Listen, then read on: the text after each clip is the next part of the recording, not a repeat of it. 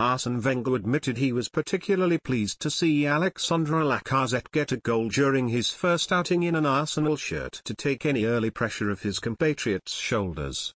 The Gunners boss has seen his side play fixtures in Australia and China ahead of the Emirates Cup in London this weekend but he singled out his new signing for praise. Lacazette, 26, was brought in for a whopping £52 million from Lyon during the summer transfer window and it took him just 15 minutes to make his mark in an Arsenal shirt, the France international came off the bench during a 2-0 win against Sydney FC to strike on his debut and Wenger admitted his delight at his new acquisition's fine start.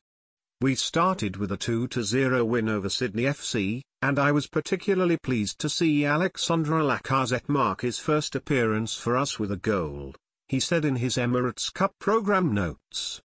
It's never a coincidence when people score goals because they're in the right place at the right moment. It's also good that he got a goal straight away as people wait for you to score when you're a striker. Our time in China saw us play against two top European opponents.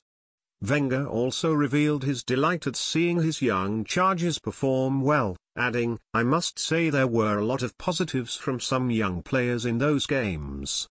They have shown personality, quality and that they have a good chance at that level.